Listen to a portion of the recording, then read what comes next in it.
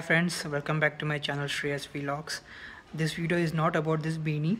Uh, uh, remember last week on my Facebook timeline I had posted saying I will be giving it a name but unfortunately I was unable to do it because due to some urgent work. So uh, today is the day where I'm going to reveal the name of my Triumph Street Triple. Uh, I know company call it as Triumph Street Triple but uh, you know I will be giving it a different name of my liking. So let's get started so this is my bike. So I am going to name this bike as so before that let me just uh, tell you why that name. That name came to my mind because of this particular frame. Uh, you can see here uh, this bike's uh, headlights the shape of the headlights looks like a bug. Uh, those two uh, uh, headlights individual headlights uh, reminds me of a bug.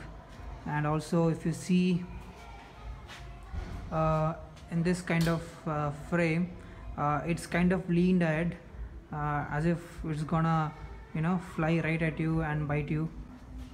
It's kind of forward biased and in the sense it's going to attack the road uh, so let me show you some stickering done to my bike. Uh, some stickering here 675 and some stickering here as well. Uh, street triple. Let me show you from this angle. Okay. Some stickering here. You can see it right? Uh, street triple. And the Triumph logo. And uh, the most favorite part this one this guy right here okay? By this time you might be guessing uh, the name of the bike. So you can look at this. Acute stickering this actually defines my bike. This particular logo or stickering defines my bike. Overall uh, this bike uh, looks in attacking mode you know. So I'm going to name this bike as the bug. That's right. That's the name I'm giving to her. The bug. I have this bug kind of logo. As you can see it's its eyebrows.